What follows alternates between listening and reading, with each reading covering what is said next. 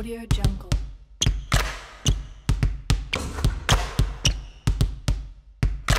What's going on guys? It's your boy back at it again with another 2K video and today I got you guys my personal Kyrie Irving build. First thing first, disclaimer. Me and my boy, we recorded a podcast a couple days ago. I'm trying to have a podcast while playing 2K, right? So that had that idea, so we recorded it, but it came out like this. It's ass to be honest, bro. Like that, that's all I want. I like can't stand these games.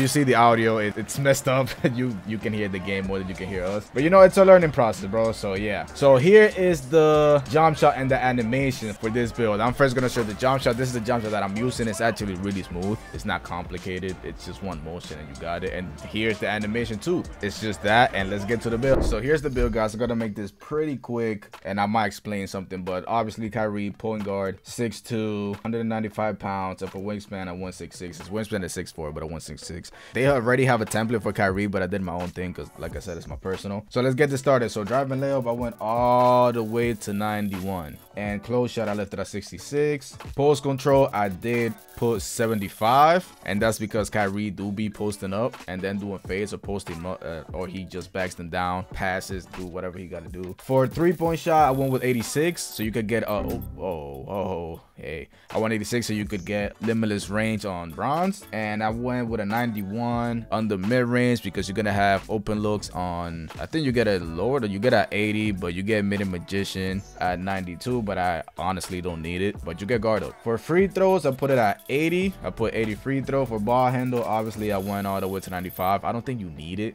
I think I just wish that attributes doing that honestly, but it's preference. And then I put 70 for pass accuracy. For defense, hear me out. I won 64 before because you get ankle braces. And then after that, I just played around with my, uh, pause. I played around with the physicals, but I want to explain something. With block, I put it at 60 because you're going to be able to contest better. So I'm 6'2", and I contest a lot, and I have actually blocked certain players being 6'2 just because I have a 60 block. Rebounds, I put it at 60. I, I play once with this, sometimes two, and I surprisingly I grab rebounds, sneaky rebounds, like I could hold, it. I put 50 interior, and that's because I believe I had enough to put it on something, and the only option I had was interior, so I did put it on interior, and it has helped. I have stopped certain players, you feel me? For acceleration, I went 83. I maxed out my stamina, and for strength, I won 65. 65 strength because you get fearless finisher and you get physical handle. So when those lockdowns start pressing you, harassing you, you will be able to get them off you. So this is my personal Kyrie build. I know some people probably have it different. Probably people have it with more defense, but I went straight like Kyrie. Kyrie has no defense. Let's keep it a bug. Some he has done some defensive plays, but yeah, no.